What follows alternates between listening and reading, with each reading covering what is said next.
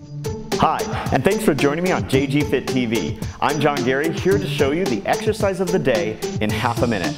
And today's exercise is a unilateral hamstring curl.